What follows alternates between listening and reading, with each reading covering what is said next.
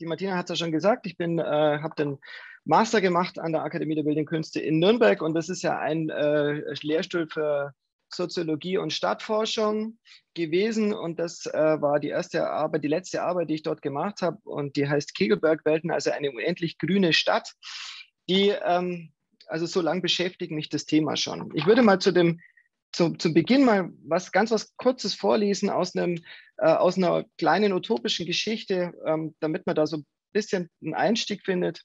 Ähm, da geht es um eine, eine Stadt, die vielleicht 50 Jahre entfernt ist. Ich halte den Zeitraum für zu wenig, aber hier lebe und arbeite ich, mache Urlaub, erhole mich, treibe Sport und besuche alle möglichen kulturellen Veranstaltungen und sonstige Events.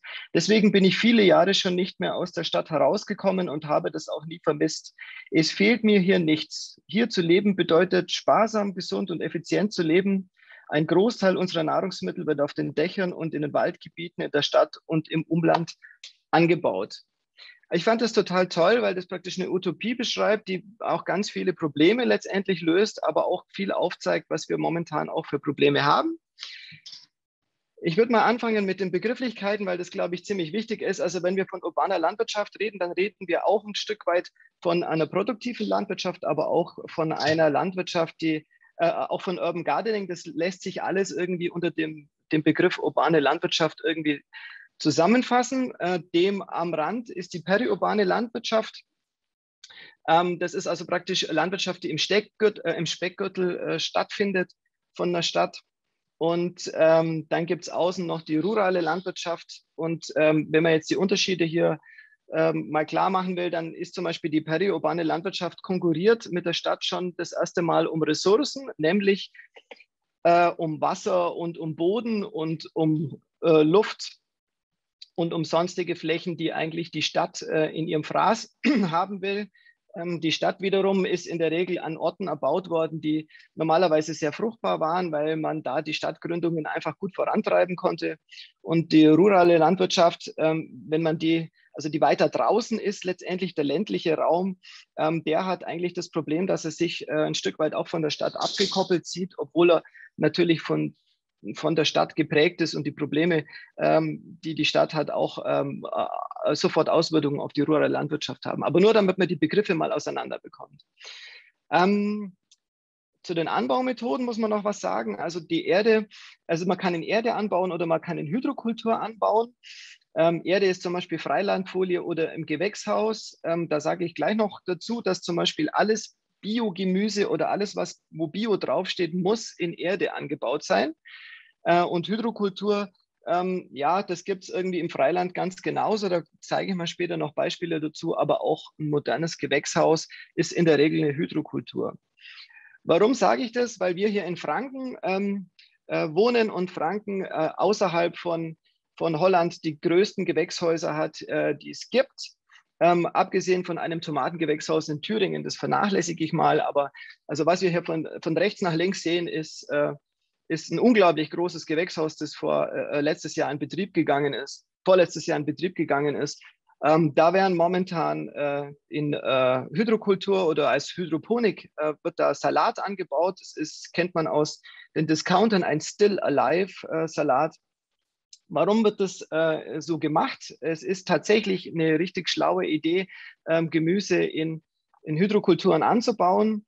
Äh, also in Nährlösungen letztendlich, weil der Wasserverbrauch um 90 Prozent reduziert werden kann, das ähm, ein extrem effektiver Einsatz von Nährstoffen ist und punktgenau ist und eigentlich keine Verschwendung ähm, von, von Ressourcen äh, darstellt. Aber es ist natürlich schon, schon abartig, es ist halt einfach äh, äh, totale, äh, totale Produktion, wenn man, das, äh, ja, wenn man das so sieht. In dem Fall, was wir hier sehen, in dem Gewächshaus, ähm, da stehen momentan 500.000 äh, Salate und es wird jeden Tag geerntet. Es arbeiten sechs Leute dort. Ja, also so sieht es letztendlich aus. Das ist auf der rechten Seite ist noch eine, die auch ähm, in die Höhe gewachsen ist und auf der linken Seite ist ein ganz normales hydroponisches System. Also da gibt es eine Nährlösung, die läuft durch diesen Kanal durch. Das kann auch anders sein. Äh, es kann auch sein, dass es einfach in Platten äh, gemacht wird ähm, äh, und, und die in, in der Nährlösung schwimmen.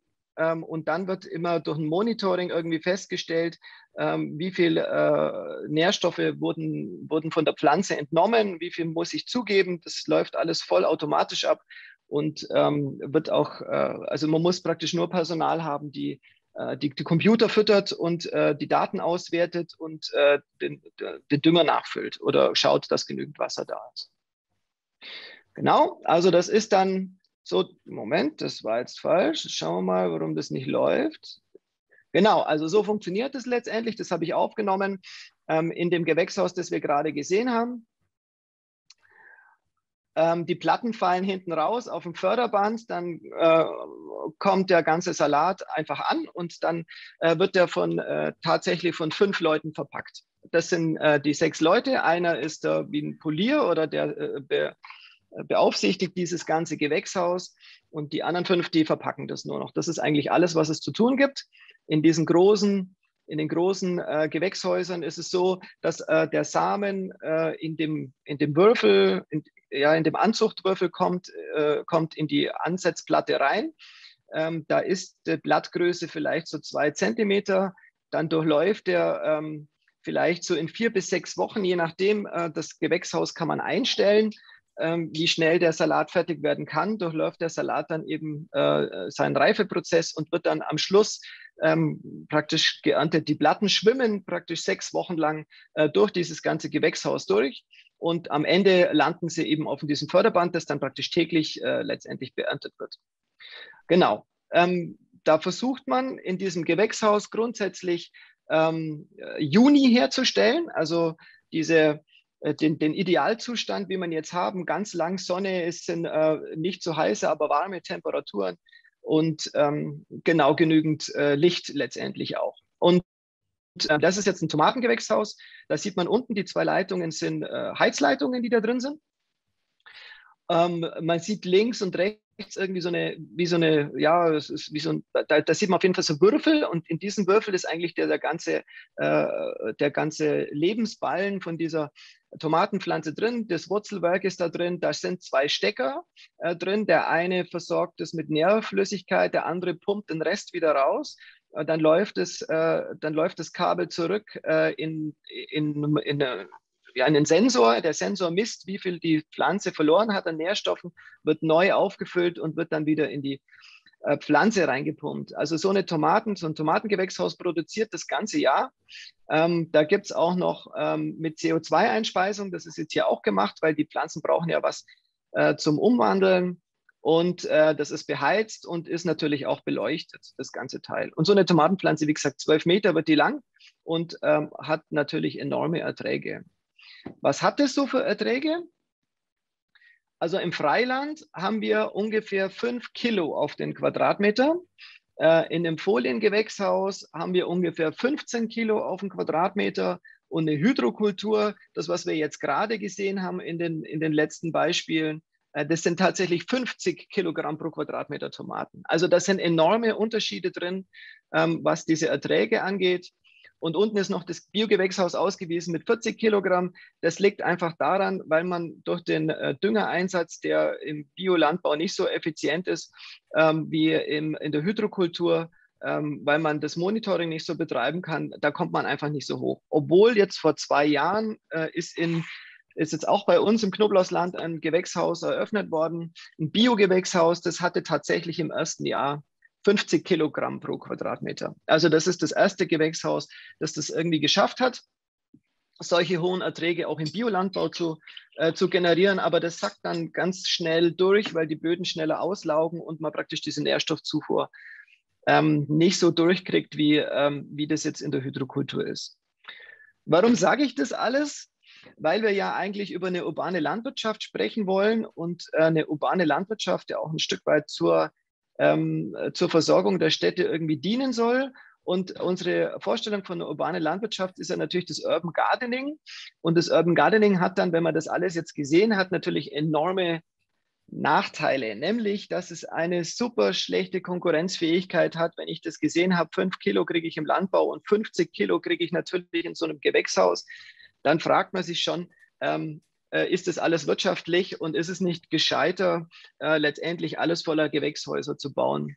Dann gibt es noch das Problem, dass Stadtmenschen im Selbstversorgerbereich in der Rolle des Landwirts äh, sind und das erfordert natürlich einen Haufen Wissen. Also es muss irgendwie jemand denen beibringen. Ähm, ich bin auf dem Land aufgewachsen, meine Oma hatte noch ein, einen Bauernhof, aber ähm, das ist jetzt nicht so, dass äh, ich das äh, von der Pike auf gelernt hätte, sondern mir war es auch immer ein Graus, wenn ich mit meiner Mutter irgendwie in den Garten musste.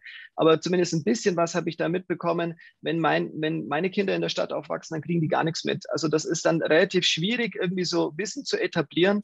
Ähm, das ist äh, wirklich ein Problem. Und ähm, wir haben natürlich das Problem, das größte Problem ist, dass wir auch keinen Einsatz von landwirtschaftlichen Geräten haben. Also es ist praktisch nicht möglich, das ist alles Handarbeit auf dem Dach.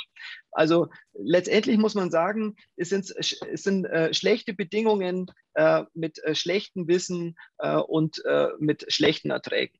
Das ist das, was wir unter urbaner Landwirtschaft in der romantischen Vorstellung eigentlich verstehen und ähm, was man jetzt, was ich so vorausschicken möchte zu diesem ganzen Vortrag. Aber schauen wir uns mal die Situation an sich an. Das kennen vielleicht die ein oder anderen. Das ist das Weltacker-Projekt äh, aus Berlin. Ähm, der Weltacker, der geht, also wenn wir, wenn wir alle Fläche, alle Anbauflächen der Erde durch alle Menschen teilen, dann kommen in etwa 2000 Quadratmeter raus für jeden. Und auf diesen 2000 Quadratmeter für jeden, da müssen wir alles anbauen, was man nur anbauen kann. Also da geht es auf diesen 2000 Quadratmeter müssen wir natürlich unsere Lebensmittel anbauen, wie Weizen, Mais, Reis und sonstige Getreide, aber auch ähm, so Dinge wie Soja als Futtermittel. Aber wir müssen auch unsere Jeanshose irgendwo herstellen. Also sämtliche Baumwolle muss da auch angebaut werden. Nüsse, Obst und Hülsenfrüchte, dann sämtliche Fasern, was wir für, keine Ahnung, vom Seil bis Tuch bis, also egal was. Ähm, und natürlich ähm, nur gewisse Erdfrüchte, also äh, keine Ahnung, auch Sträucher mit Beeren und ähm, Kartoffeln und also solche Dinge. Es, es muss praktisch auf diesen zwei, 2000 Quadratmeter alle, jeder muss da alles angebaut bekommen.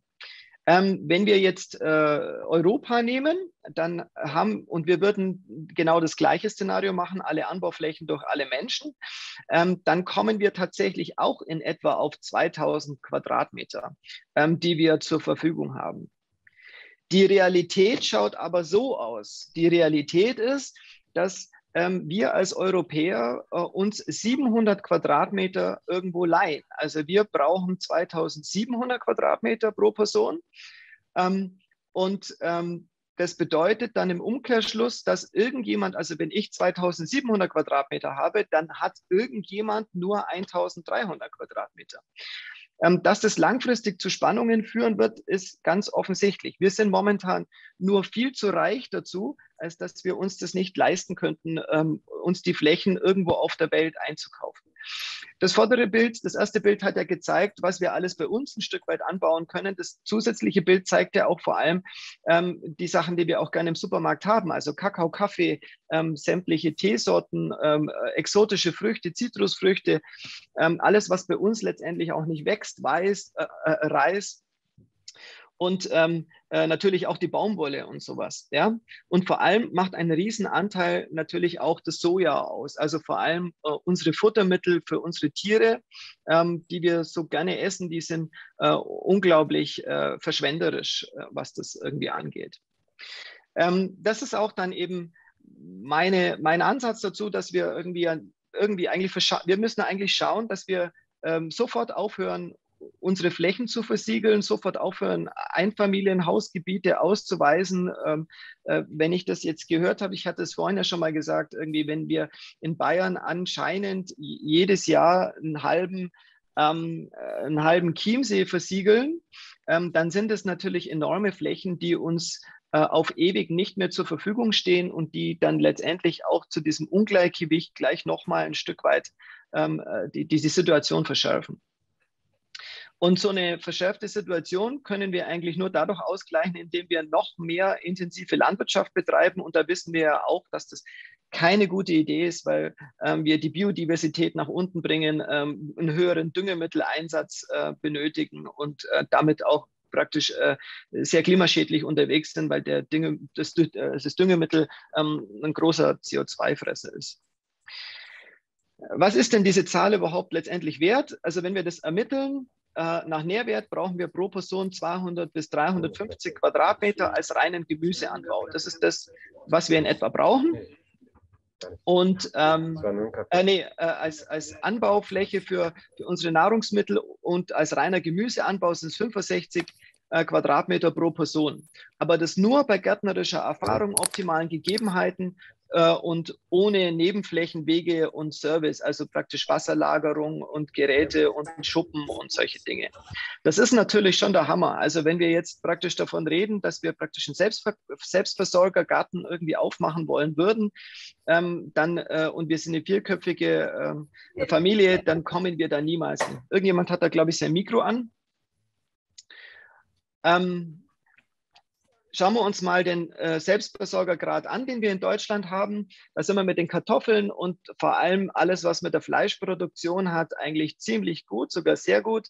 Ähm, Sobald es an das Gemüse geht, ähm, stehen wir total schlecht da. Also äh, tatsächlich äh, ist es so, dass 63 allen Gemüses müssen wir einführen aus irgendwelchen anderen Ländern. Also das ist Spanien ähm, und das ist vor allem Holland, ähm, aber auch Polen ähm, äh, kriegen wir das Gemüse und ähm, das erzeugt dann also letztendlich auch immer einfach einen CO2-Fußabdruck. Also man kann das nicht so einfach mit der Produktion von den hydroponischen äh, Gewächshäusern irgendwie sehen, dass das irgendwie so super, äh, super effizient ist, wenn wir auf der anderen äh, Seite natürlich die Gewächshäuser mit Gas beheizen müssen und natürlich ähm, durch die ähm, äh, durch den Transport einfach viel, äh, viel CO2 als äh, Transportkosten irgendwie haben.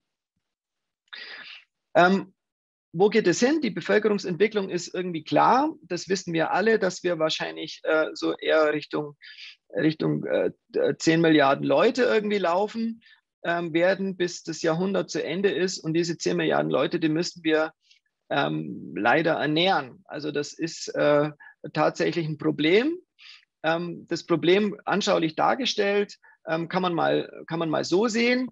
Ähm, hier geht es eigentlich nur bis 2050, die Grafik, da wären wir bei 9,5 äh, Milliarden Menschen. Und wenn wir die zu dem Stand äh, von den äh, 7 Milliarden Menschen, die wir vor kurzem noch hatten, äh, ein bisschen ältere Grafik schon, ein paar Jahre alt schon, ähm, dann müssten wir einmal Brasilien als Fläche, als Anbaufläche mit dazu nehmen. Und das ist natürlich schon äh, unglaublich viel, ähm, weil wir ähm, weil wir eigentlich die Fläche so erst einmal gar nicht gescheit haben. Also das ist, äh, wir haben das Problem, dass wir ja praktisch Waldflächen noch haben, die brauchen wir aber zum CO2-Ausgleich. Und Feldflächen können wir nur dadurch in der Produktion erhöhen, dass wir, dass wir ähm, die, äh, dass wir eben den Düngemitteleinsatz äh, erhöhen oder andere Anbauformen wählen. Ähm, das größte Problem ist äh, nochmal in der Stadtentwicklung, dass wir äh, zu viel Fläche verbrauchen. Das ist jetzt eine, eine Schätzung, die kommt von der UN. Ähm, wir werden 230 Milliarden Quadratmeter in den nächsten 14, 40 Jahren in den Städten verbrauchen. Also das wird zusätzlich dazukommen. Was, was ist das in etwa?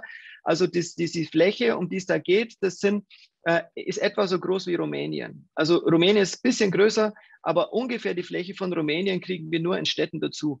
Ja, jetzt kann man sich das nicht so ganz vorstellen. Vielleicht muss man das anders machen. Also die Fläche von Paris sind 105 Quadratmeter und rechnerisch exakt kriegen wir pro Woche 110 Quadratkilometer und äh, rechnerisch kriegt man praktisch jede Woche einmal Paris als Fläche auf weltweit an Stadtflächen dazu. Und das finde ich, dass das schon ein ziemlicher Brocken ist, auch wenn man weiß, dass die Städte ja in der Regel an solchen Orten ähm, äh, errichtet worden sind oder gegründet worden sind, wo es gute Bedingungen für den landwirtschaftlichen Anbau gegeben hat. Den mag ich total gern, den Herrn Thünen, den Johann Heinrich von Thünen. Der hat nämlich äh, die Thünenschen Ringe ähm, im 19. Jahrhundert mal vorgestellt.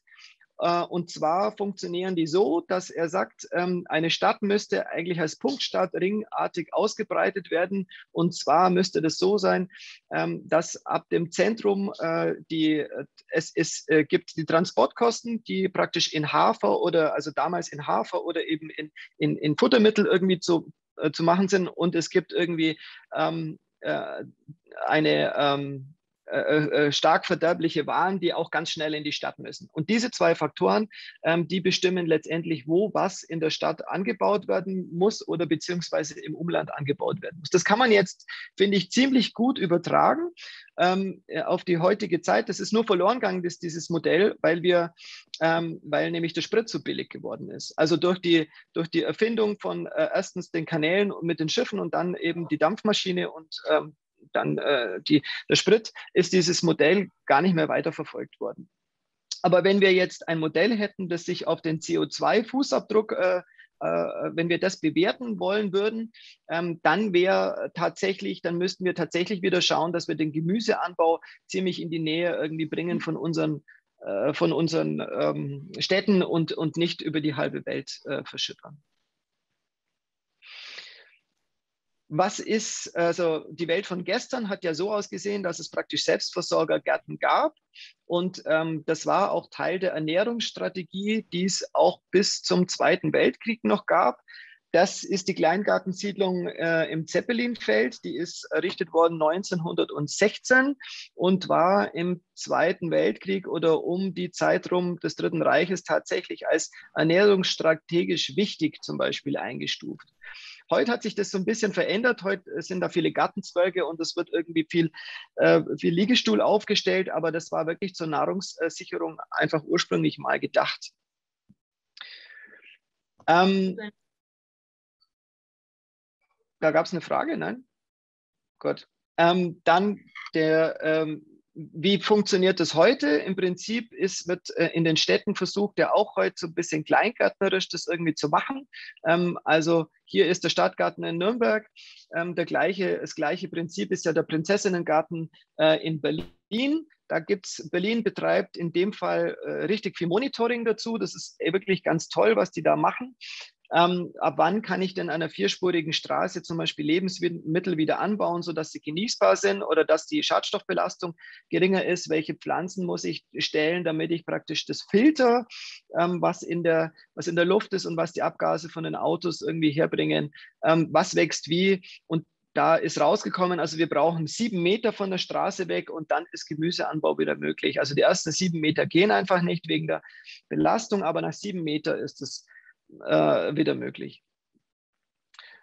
Ähm, andere Länder sind da schon viel, viel weiter. Cuba Libre, das ist in Havanna, ist das, und Havanna deckt 50 Prozent seines äh, kompletten äh, Nahrungsmittelbedarfs ähm, aus der eigenen Stadt selbst. Es gibt da tatsächlich ähm, große Felder in der Stadt, wie man das hier sieht. Da habe ich äh, wirklich viele Beispiele gibt es da dazu. Also das ist in der Wohnanlage zum Beispiel.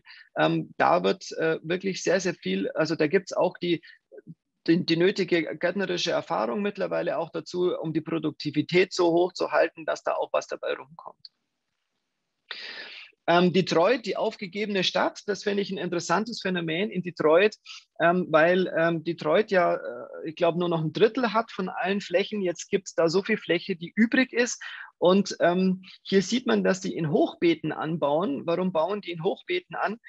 Weil es praktisch nicht mehr möglich ist, versiegelte Flächen wieder in den Zustand zurückzuversetzen, die für eine landwirtschaftliche Produktion wirtschaftlich nutzbar sind. Also man kann natürlich alles machen. Man kann auch den Boden austauschen und man kann ganz viel irgendwie wieder bereinigen, aber wer soll das bezahlen und in welchem Verhältnismäßigkeit steht es dann? Deswegen, ähm, aber es wird in Detroit ganz viel da in die Richtung versucht und gemacht und das ist ein riesen Experimentierfeld, wie ähm, die Landwirtschaft wieder zurück auf Brachflächen kommt oder in, ähm, in die Stadt wieder zurückkommen kann. Ähm, Singapur ist genau das Gegenteil. Singapur ist so unglaublich teuer, ähm, dass es schon längst rentiert, dass äh, Startups ähm, hier die Gemüseproduktion auf die Dächer und in die Städte wieder zurückgebracht äh, haben. Das geht, äh, hier ist es ja noch an, also Sie müssen, steht unten ja dran, 90 Prozent ihrer gesamten Lebensmittel muss, muss Singapur importieren. Ähm, äh, es äh, geht so weit, dass die äh, nur noch künstliche, mit künstlichem Licht und Belüftung und CO2-Einspeisung und so weiter die Lebensmittel produzieren. Ähm, aber äh, hier sieht man auch, dass es, das ist ja hier eine Aquaponikanlage, da sind Fische mit dabei, ähm, äh, dass die aber auch unter freiem Himmel funktionieren und dass sie das auch betreiben. Ähm, New York ist ja ähm, das äh, Bild schlechthin vom Urban Gardening, Gärtnern in der Stadt, auf den Dächern. Ich weiß nicht, warum es bei denen so einfach geht und bei uns so schwierig ist, aber es funktioniert bei denen total gut und hat mittlerweile eine Kultur, die auch ähm, mittlerweile ähm, Dinge hervorgebracht hat, von denen wir so noch ein bisschen entfernt sind. Das ist der Whole Foods Market. Ähm, der ist auch bekannt, der steht in Brooklyn. Ähm, und äh, alles, was oben produziert wird, wird unten in dem Supermarkt verkauft. Ähm, das ist praktisch, äh, kürzer geht es kaum.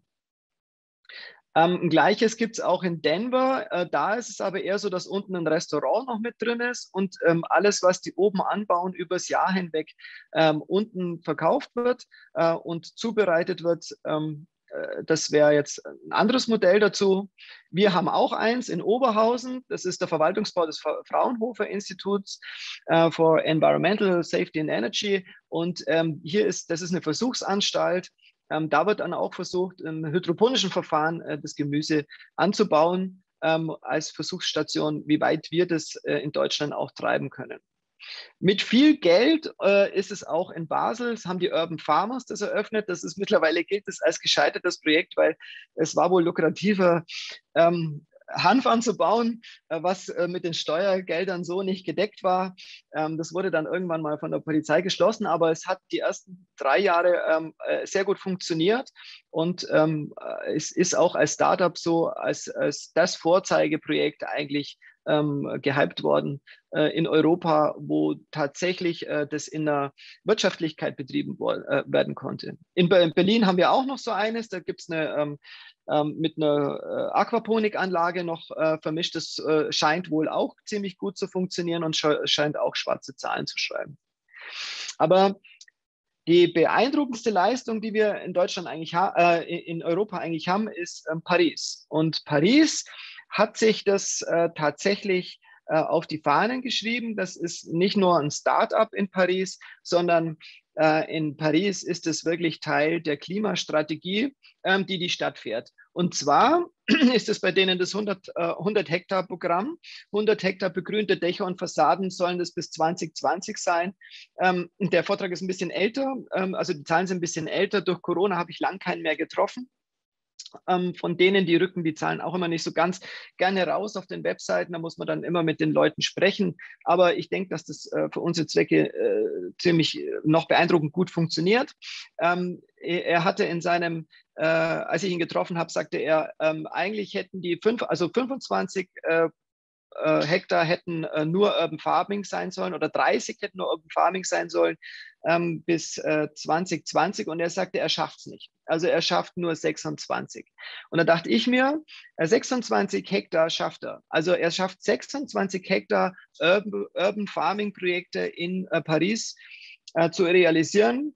Äh, in Nürnberg haben wir nicht ein Hektar. Also ich glaube auch, weiß ich nicht, wie viel München hat, da bin ich jetzt nicht so im Bilde, aber ob München ein Hektar zusammenbringt ähm, auf den Dächern, ähm, ist, also ich zweifle da stark dran, dass das irgendwie funktioniert. Also dass es da eine Zahl dazu gibt. Auf jeden Fall ist die, Klima, die Klimastrategie der Stadt ist, ähm, dass äh, die Treibhausgase so, sollen reduziert werden, die Biodiversität soll erhöht werden, die Luftqualität soll verbessert werden. Sie wollten ein besseres Regenwassermanagement und vor allem für die Bevölkerung eine nachhaltige Ernährung und dann eben äh, eine innerstädtische äh, Beschäftigung zusätzlich schaffen ähm, das, was sie als Abfallprodukte irgendwie sehen oder als, äh, äh, wie sie ihre Ziele denn eigentlich auch ähm, strategisch umsetzen können, ist also auch eine partizipative Landwirtschaft, ähm, also eine Teilhabe der Stadt an sich, also eine, und, und damit ganz vernetzt ist natürlich die pädagogische Landwirtschaft, dieser Effekt, ähm, den man dadurch auch äh, erfährt, dass ein Lebensmittel was wert ist, und ähm, dass das einfach dauert, bis eine Tomate wächst und dass ähm, ähm, Lebensmittelverschwendung auch Verschwendung an Boden ist. Ähm, das war denen schon ganz, ganz wichtig oder ist es denen immer noch ganz, ganz wichtig, ähm, dass es landschaftsplanerische Projekte gibt, ähm, also die Entsiegelung von Flächen, äh, wieder äh, mehr Grün in die Stadt zu bringen und dass es letztendlich auch das, was ja vorhin schon mal auf der Folie war, zum Schluss auch eine produktive Landwirtschaft ergibt, also praktisch eine echte Erwerbsquelle und ein echtes Geschäftsmodell. Ähm, noch ein Satz zur Landschaftsplanung. ähm, da ist der Fokus ganz stark drauf, dass es auch die essbare Stadt gibt. Wir haben ja auch eine in Andernach, gibt es die essbare Stadt als, als Konzeptmodell. Also das heißt, die essbare Stadt bedeutet, dass auf öffentlichen Flächen ähm, die Stadt äh, bewirtschaftet diese öffentlichen Flächen, wie bei uns einfach die Parks auch äh, bewirtschaftet werden, gießt die, pflanzt da was, äh, zieht was vor. Und ähm, das, was da entsteht, ist aber ähm, ein Teil, äh, das wird der, der, Bevölkerung zur Verfügung gestellt. Wenn das äh, fertig ist und reif ist, dann kann das jeder ernten, der vorbeikommt oder der ein Interesse dran hat.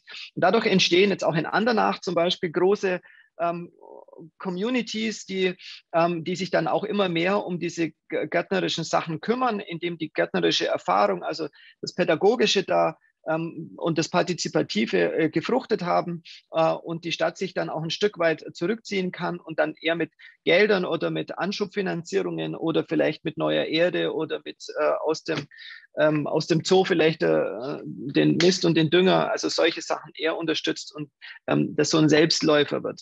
Also praktisch auch die wirklich eine Teil Teilhabemodell entsteht. Die Erfolge, ähm, die äh, Paris zu verbuchen hat, ist, ähm, dass äh, dass sie 14 momentan noch, also das war noch 2019, bis 20 haben sie 26 dann irgendwie hinbekommen. Also diese 12 plus 14 sind die 26 äh, Hektar haben sie hinbekommen. Äh, bis 2019 haben sie 1240 Tonnen Obst und Gemüse geschafft, sieben Tonnen Obst, eine Million Schnittblumen, 1,3 Millionen Setzlinge sind angezogen worden und dann eben noch Honig, Safran, Hopfen fürs Bier und so weiter. Aber das Großartige ist vor allem, dass 120 Arbeitsplätze entstanden sind und zwar volle Arbeitsplätze, ähm, die äh, sich nur damit beschäftigen, wie, äh, wie äh, Grün in der Stadt äh, produktiv äh, letztendlich entsteht. Also die tragen sich selber und die sind nicht von der Stadt ähm, finanziert oder sowas. Das ist das größte Projekt. Das ist dieses Jahr in, äh, also in Vollbetrieb gegangen. Das ist Agripolis äh, in Paris, das ist die Messe ähm, und ähm, das ist ein unglaublich großes Projekt. Das sind 14.000 Quadratmeter, ähm, was, da, was da an Fläche entstanden ist. Und der erwartete Ausstoß äh, ist äh, eine Tonne pro Tag. Also eine Tonne Lebensmittel kommen da pro Tag von diesem Dach runter, ähm, von Juni bis September auch in Bio und äh, Hydrokultur beides äh, zusammen. Wo liegt es? Das liegt nicht irgendwo, sondern das liegt einfach tatsächlich mitten in der Stadt, äh, dieses Messegelände.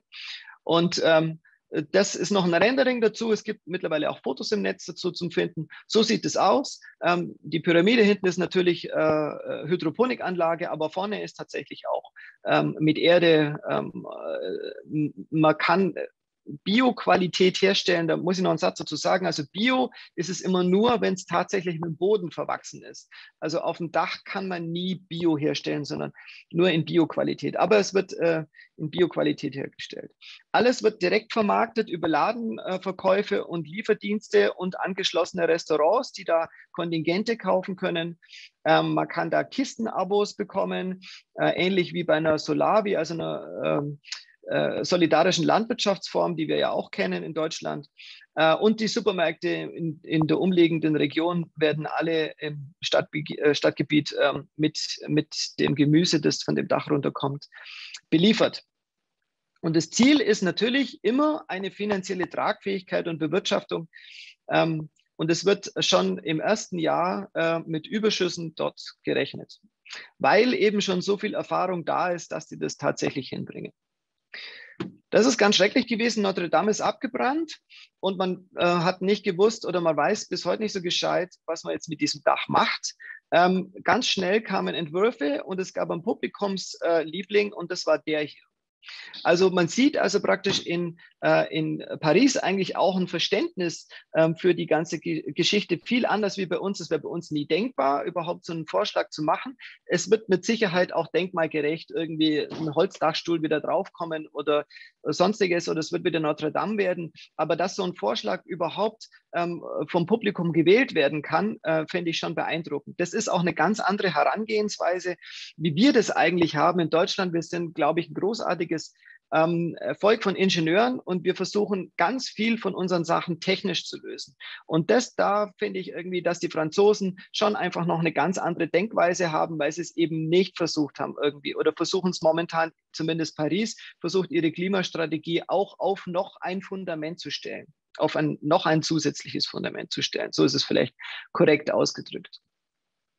Das hat mich dazu bewogen, ähm, in meinem ersten Symposium, das ich 2018 gehalten habe, irgendwie zu sagen, also eigentlich wäre es irgendwie gescheiter. Wir haben, äh, wir haben eigentlich eine äh, Stellplatzsatzung in der bayerischen Bauordnung. Wir müssten die umschreiben. Die 47 muss eigentlich eine Zusatzartikel bekommen, eine Anbausatzung. Ähm, das fände ich total gut.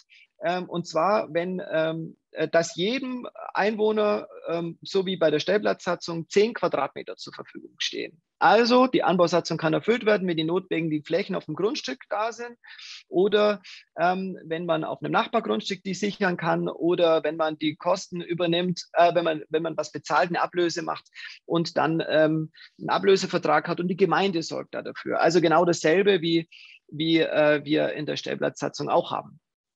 Ich fand mich unglaublich genial, äh, bis ich herausgefunden habe, dass es Paris und zwar exakt genauso gemacht hat. Also äh, Paris hat tatsächlich ähm, eine Anbausatzung verankert, ähm, die äh, alle Neubauten zwingt, jedem Einwohner ein Stück Land in irgendeiner Art und Weise, eine Fläche in irgendeiner Art und Weise, und es sind sogar zufälligerweise zehn Quadratmeter, ähm, zur Verfügung zu stellen.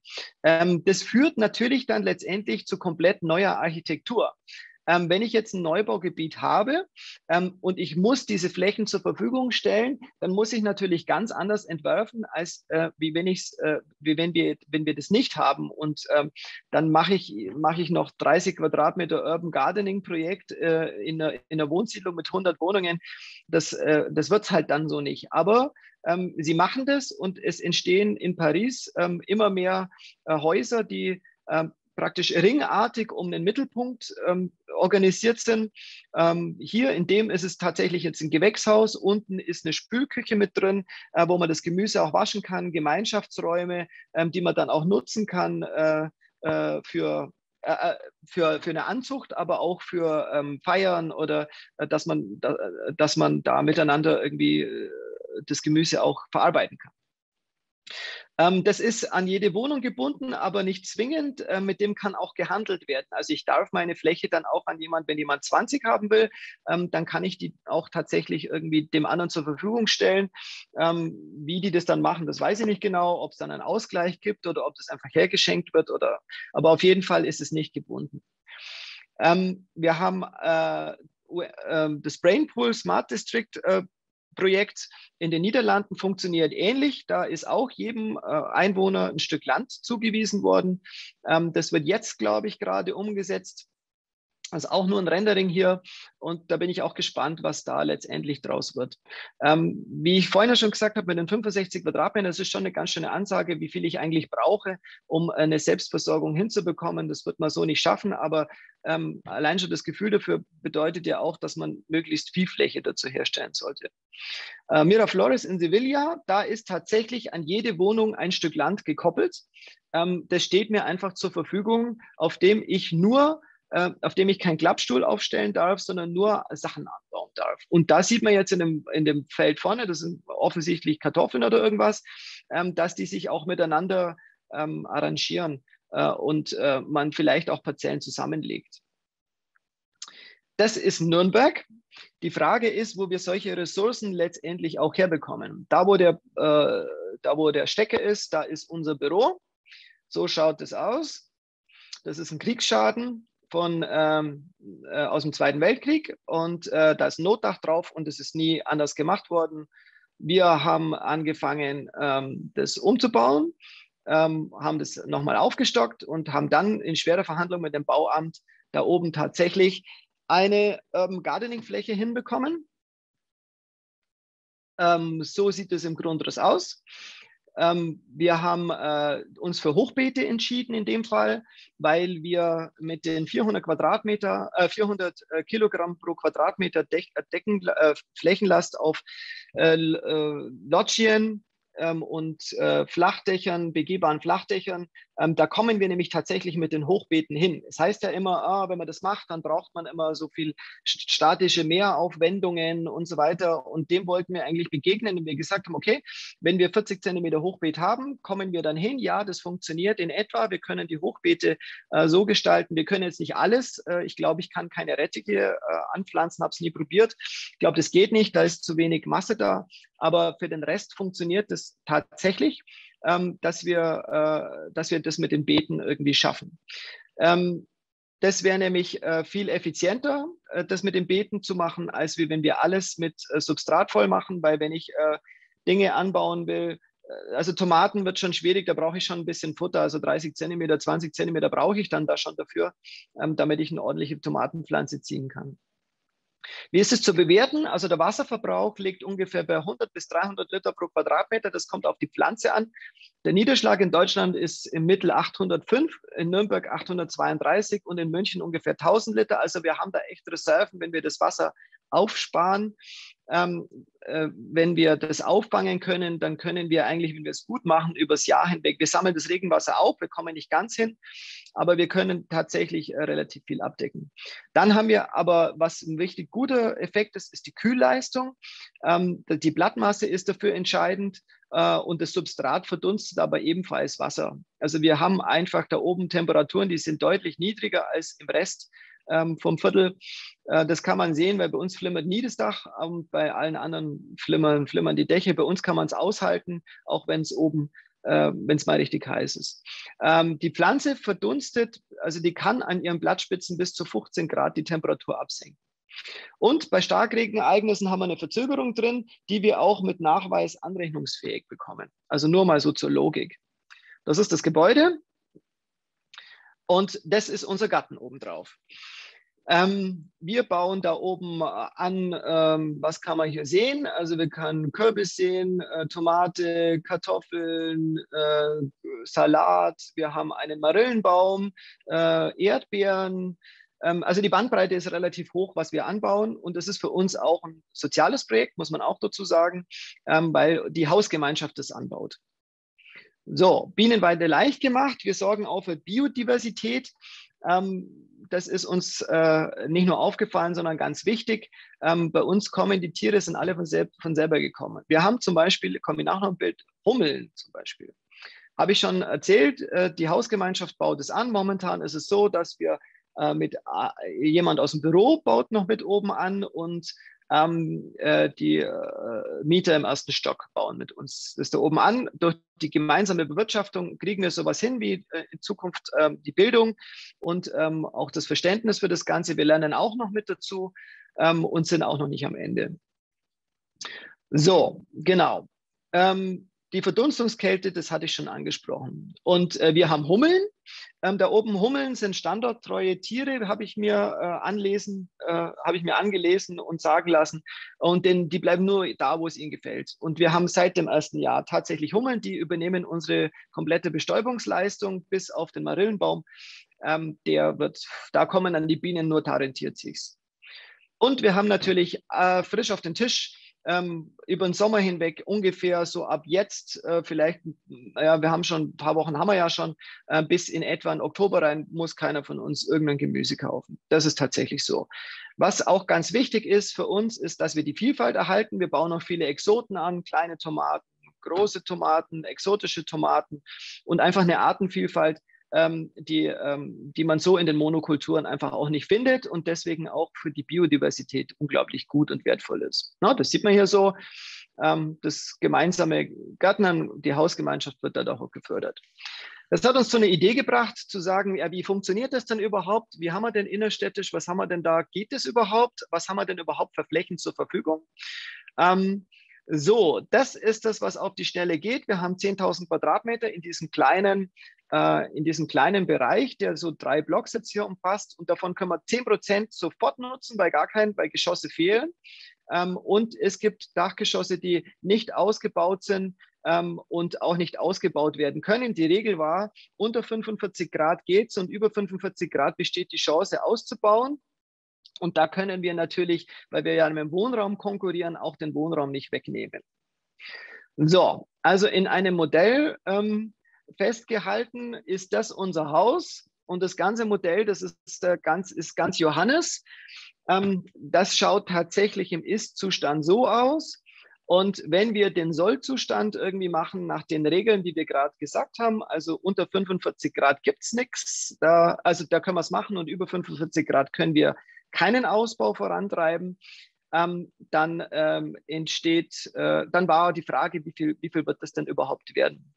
Und äh, rausgekommen ist, ähm, dass wir tatsächlich 186 Tonnen im Jahr einsparen könnten, ähm, wenn wir das alles bis 2071 ähm, so umbauen, ähm, dass Gründächer entstehen. Und das wäre das Bild, ähm, was entstehen könnte, ohne dass wir Wohnraum vernichten. Also ohne dass wir eine, eine einzige Wohnung weniger haben, ähm, könnte das auf einen Schlag ähm, tatsächlich passieren. Das Modell äh, wurde dieses Jahr ausgestellt, äh, letztes Jahr ausgestellt auf der Biennale. Wir durften an der Biennale teilnehmen mit dem Projekt.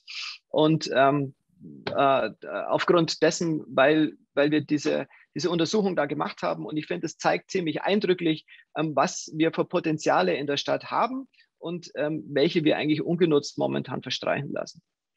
Es gibt noch ein Minimalkonzept. Das Minimalkonzept wäre auf bestehenden Flachdächern, wenn wir eine Lastreserve von 80 Kilogramm haben. Also die LWG treibt diese Forschung ziemlich stark voran. Damit kann man äh, viele Flachwurzler anbauen, Kräuter, Salate. Also man kann dann schon relativ viel machen, alles was nicht tief wurzelt. sofern wir eine wurzelfeste Schweißbahn haben, eine Tropfbewässerung wäre gut. Äh, und die Substratstärke 8 bis 15 Zentimeter ist. Die 80 Kilogramm braucht man nur, wenn die Dachbegrünung nicht eh sowieso schon vorhanden ist durch den äh, Substrataufbau oder Austausch oder ein Upgrade von dem Substrat ist es tatsächlich möglich, dass wir die Flächen dann tatsächlich auch von Gemüseanbau nutzen. Wie kriegen wir das hin in den Umsetzungsstrategien? Also einerseits ist es so, dass wir praktisch äh, Learning from Paris, würde ich sagen, also Machbarkeit und die statische äh, Beratung, die wird von Paris tatsächlich von den Ämtern übernommen. Da gibt es ein eigenes Amt dafür, da kann man anrufen, dann kommt ein Statiker vorbei und sagt, geht es oder geht es nicht. Ähm, dann würden wir auch eine Schulung für die Planer brauchen, um ähm, tatsächlich ein Verständnis zu, dafür zu bekommen, wie kriegt man denn die Dächer überhaupt so ertüchtigt, dass sie das tragen können oder was für Strategien gibt es denn da überhaupt, weil die Vorstellung ja tatsächlich die ist, dass wir alles mit 40 Zentimeter Erde auffüllen müssen. Und dann sollten wir in dem nächsten Schritt ähm, äh, ähm, tatsächlich die Bevölkerung versuchen, daran zu führen, dass so ein, so ein Lebensmittel wieder was wert ist. Also, dass einfach nicht alles aus dem Rewe kommt, äh, sondern dass äh, Lebensmittel Zyklen haben, dass die zu bestimmten Zeiten irgendwie äh, passieren und dass der Wert dieser Lebensmittel äh, einfach auch äh, gegeben, wieder gegeben werd, werden kann. Dann hat die Politik was zu tun. Wir müssen die gesetzlichen Rahmenbedingungen schaffen. Und da gehören dann vielleicht auch Förderprogramme dazu, auch vielleicht für die Umsetzung äh, über Startups, dass die ähm, eine, ähm, eine Anschubfinanzierung oder sowas bekommen. Dann ähm, Akzeptanzprogramme fahren und ähm, Schulungsangebote für die Bevölkerung, aber auch für, für Fachpersonal. Ähm, bringen. Und eben äh, glaube ich, dass es noch Schlüsselreize dafür braucht, nämlich Aufnahme von Klimakonzepten in, äh, in, in die Klimakonzepte der Städte und auch Erleichterungen bei der Umsetzung. Also wenn ich das, ich könnte mir vorstellen, zum Beispiel, wenn wir einen Energieausweis haben und es gibt da jetzt in Zukunft auch einen CO2-Nachweis da dafür, wieso gibt es denn eigentlich keinen Grünnachweis da dafür, ähm, dass es so, dass äh, so eine Etablierung ähm, tatsächlich stattfinden kann. So, das war mein Vortrag dazu. Ähm, nehmen und nicht stehlen, das ist der Blick von unseren Dachgarten in die Stadt rein. Und wir sehen also praktisch, dass es, ähm, ähm, ich hätte jetzt heute gerne den Vortrag oben auf dem Dach gemacht, aber das WLAN hat tatsächlich nicht gereicht, ähm, um, das, um das hinzubekommen. Ähm, da sieht man momentan wachsen da Kartoffeln und es gibt ein bisschen Kürbis auf der linken Seite und Zucchini und Tomaten und ähm, der Rest ist einfach eine ganz äh, typische Stadt ähm, in der Nachkriegszeit mit vielen 60er Jahre Dächern, ähm, äh, die äh, eigentlich alle so eine Verwüstung, also eine, eine Stadtwüste und zur Klimaaufheizung oder zur Aufheizung der Städte irgendwie beitragen, anstelle ähm, so einen wunderbaren Ort irgendwie dazu haben. Danke.